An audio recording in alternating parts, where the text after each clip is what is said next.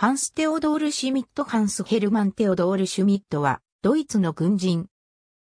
第二次世界大戦中、親衛隊に入党するとともに、親衛隊の副官に就任。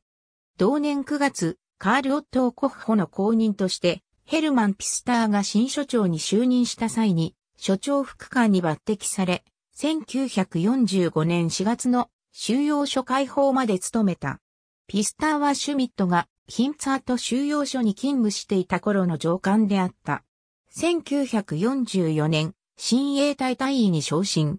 1945年5月、シュミットは他の収容所職員らと共にアメリカ陸軍によって逮捕された。敗戦後、シュミットは1947年4月11日にダッハウ裁判の一部として開かれたブーヘンバルト主要裁判の中で裁かれた。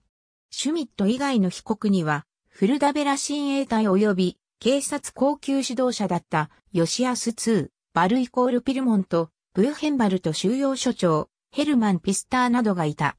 所長副官の職にあったシュミットは1942年から1945年までの期間における収容所の運営及び監守の指揮に責任があったとされ、1947年8月14日には公死刑による死刑判決が下された。1951年1月31日、死刑反対運動の高まりを受けて、シュミットへの死刑判決もアメリカ欧州軍、総司令官トーマス・ティー・ハンディ将軍による審査を受けた。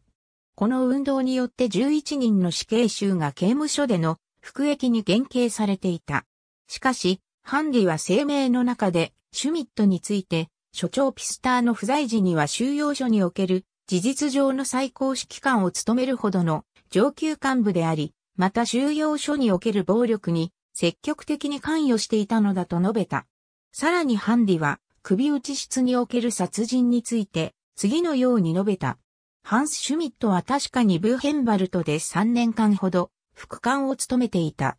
その間、彼はすべての囚人の処刑に関する責任があった。コマンド99として知られる特殊部隊を使い、数百人もの戦争捕虜を殺害した。それらの処刑は厩舎を病院薬局のように改装した部屋で行われた。犠牲者らは何の疑いもなく壁際の身長測定器に立たされたが壁に隠されていた空気銃で頭を撃ち抜かれたのだ。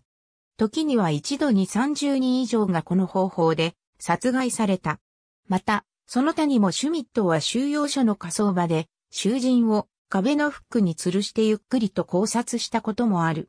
私はこの男に慈悲を与えるだけの理由を見つけられない。1951年6月7日、ハンス・テオドール・シュミットは、ランツベルク戦犯収容所にて、公主刑に処された。ハリー・スタイン、ジャデンクシュタット・ブッヘンワルト、コンツェントラーツヨンスローカーブッヘンワルト1937-1945ビグレイトバンドツアースタンディジェンヒストリシアンオステレオンゲッティンゲン 1999S309 ジシャットナウハーネットウィルムズベギーナディガングデアンデンベールガークリグスバーブレッチャーダイアークレアンハンデスバルシュタンディングバイロバート・ジーゲルインインテレッセでアグレシティシュキート。第6話クリグスバーブレチャープローゼス1945-1948キャンパス。フランクフルト。1992 ISBN 3から5933464419 S179 フォルティシモ。ありがとうございます。